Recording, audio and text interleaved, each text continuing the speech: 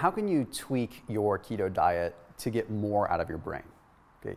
By now, you probably know that the ketogenic diet is powerful for cognitive function. Okay, it's one of the leading ways to really boost brain performance. That's why military forces are using it. That's why all kinds of government agencies are using it to heighten how we think. Okay, so it's it's proven there. There's no exaggeration there. But I think what we need to do is we need to start looking at things slightly different.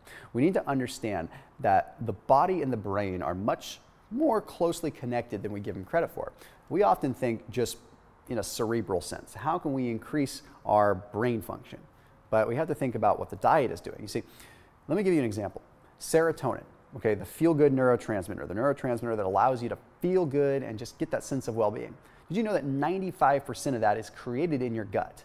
Okay, and it travels up to your brain as a neurotransmitter. Okay, so the gut biome really harnesses a lot of power for our brain. Now, the other piece of the equation is looking at the other side of the spectrum Parkinson's disease. Okay, it's theorized and somewhat proven that Parkinson's disease probably starts in the gut. Okay, it starts in the gut by certain proteins unfolding and ultimately traveling up the vagus nerve into the brain. So it could literally start in the gut. Now, my point in saying all of this is the ketogenic diet alters our gut biome. Okay, our microbiota changes dramatically, and that alone has a powerful effect on our brain from a genetic standpoint, from a disease prevention standpoint, and from all kinds of different standpoints. But let's talk about some ways that you can possibly have some fun with this. Ways that you can boost your brain performance, but also protect your brain from neurodegenerative diseases as well. Okay, that's important stuff. It may not be important to you now, but it's important as you get older. So let's pay attention. All right, I also want to make sure you hit that red subscribe button then hit that little bell icon to turn on notifications. New videos literally every single day, so you should be coming back here every day so you can get your daily dose of education. Also, at the end of this video, please go ahead and check out Four Sigmatic. There's a link in the description for them. That way you can get your mushroom coffee that's gonna also heighten your cognitive function and give you a little bit of that mental and body boost that you need. So special discount, special pricing, link down below in the description. Super simple after you watch this video. Huge shout out to them. So let's start with what the ideal level of ketones are. Like, should you try your hardest to get your ketone levels high? It's a common question. And I talk about frequently in my other videos that you don't need to get your ketone levels high to burn fat and to lose weight. Okay, but if you're trying to go for cognitive function and trying to boost just overall cognitive wherewithal, but also prevent neurodegenerative disease, higher ketones probably are better. Now, one of the ways that we can justify this is when you look at the epileptic community, okay, the, the science community that's treating epilepsy with ketones, they require their patients to have high therapeutic levels of ketones, okay, north of three millimoles usually. And this is because they only see positive results with their epilepsy if their ketone levels are high. So, what that tells us is clearly it's doing something within the brain. Okay, clearly something that is chilling out seizures and possibly tilting that GABA glutamate scale enough. We don't really know. The point is, it's doing something in the brain that is very optimal. The other piece of the equation that we have to remember is this kind of linear equation is that ketones oxidize in lieu of glucose. So ketones compete with glucose. So if you have one brain and you have uh, cells using energy, if ketones are present, they're going to compete with glucose, which means the more ketones you have present, the less glucose ends up getting oxidized. Glucose, when it oxidizes in the brain, causes issues. Okay, when it oxidizes in the brain, it causes reactive oxygen species. It is a raging bull in a china shop inside your brain because it's so toxic. I shouldn't even say toxic, but just it's so full of just waste when it gets processed out of the brain. Ketones burn clean.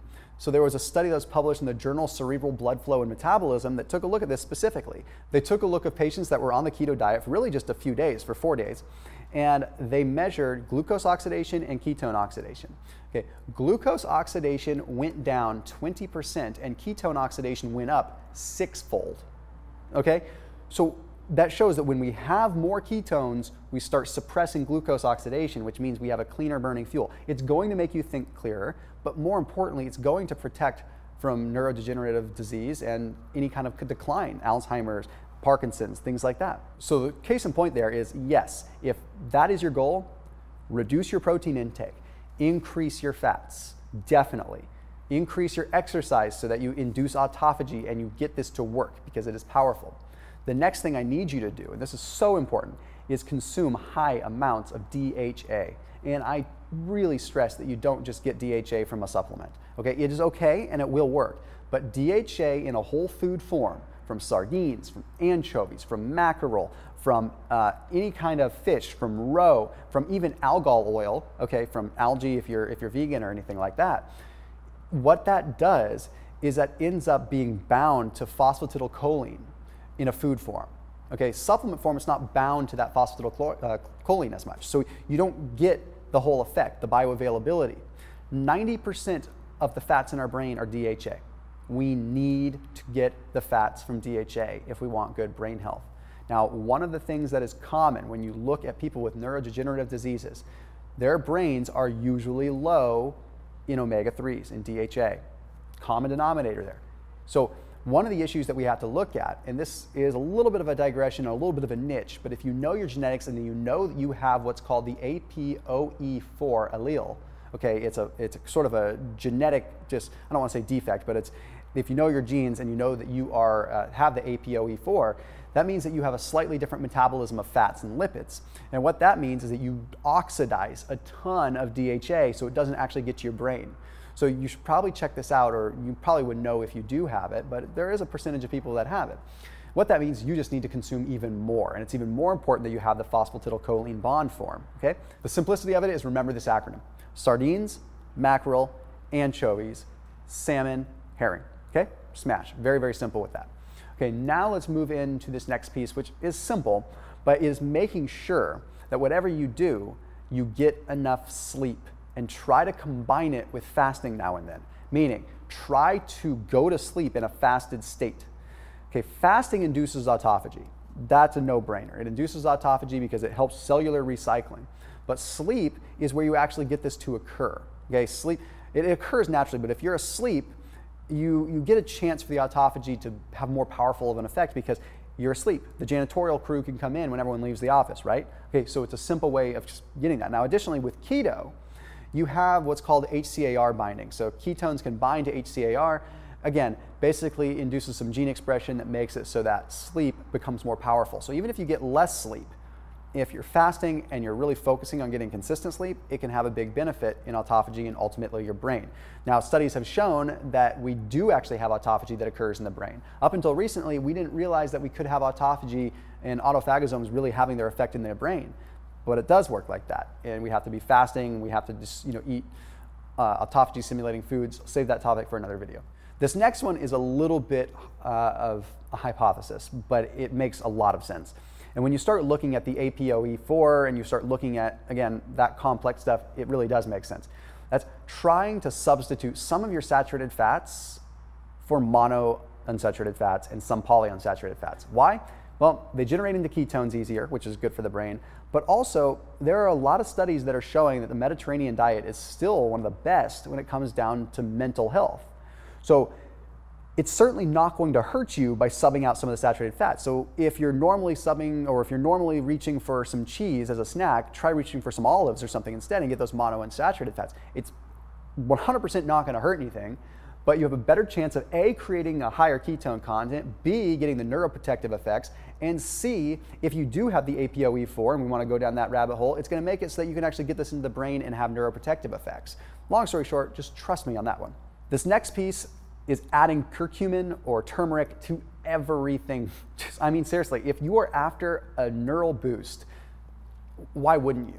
It's so beneficial, not only from a neuroinflammation standpoint, which again, we link just about every neurodegenerative disease to neural inflammation. So, yeah, it's going to combat inflammation via the nuclear factor kappa B pathway and the NLRP3 inflammasome, tumor necrosis factor 1 alpha, all those different cytokines, pathways, signaling systems, everything.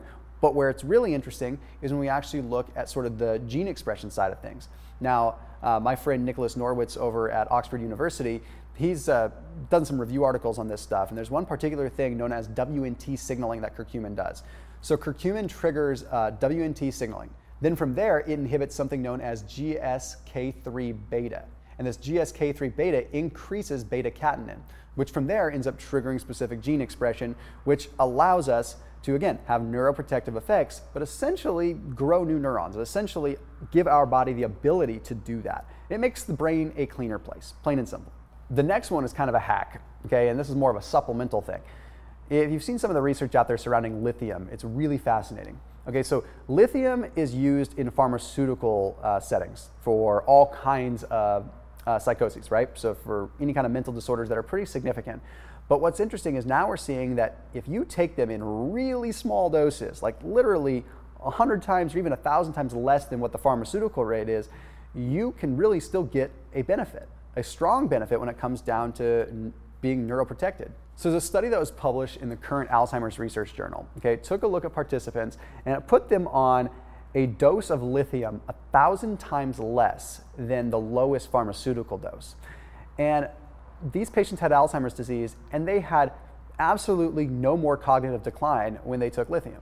So the point in saying that is if you're doing it as a nootropic or as a way to just protect your brain, you could really get away with taking like really low amounts. Now, lithium is something you can get on Amazon, you can get online like in five milligram tabs. So you can just do a little Google research and you know use that as your as your reference point for starting really small and seeing if you get some benefit out of it. Now, full disclaimer, I'm not a doctor, I can't tell you to do something, but do your own due diligence on that because combined with the effects of keto, you might just have a really powerful brain tool here. Okay, you've got all the benefits of keto and fasting on your brain. You know how to now tweak your keto fasting, you know to add curcumin, you know how to do things. Adding lithium to the mix could just be the little hack that you need to really have your limitless pill, for lack of a better way of saying it. So as always, I appreciate you spending the time here on my channel. I appreciate you watching all my videos. So keep it locked in here and I'll see you tomorrow.